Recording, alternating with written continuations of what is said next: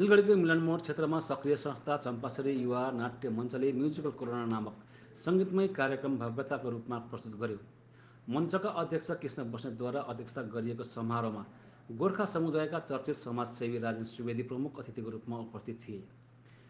विशिष्ट अतिथिहरूमा colonel PK Sharma doctor Karan Joshi Nepali चलचित्र जीवन काँडाकी फुलका निर्माता निर्देशक विनोद विष्ट उक्त चलचित्रकै गायिका जुनु गौतम निर्माता निर्देशक द्वय कृष्ण गुरुङ राजु सासङ्कर अनि गोर्खा समाजका गण्यमान्य व्यक्तित्वहरूको उपस्थिति रहेको थियो।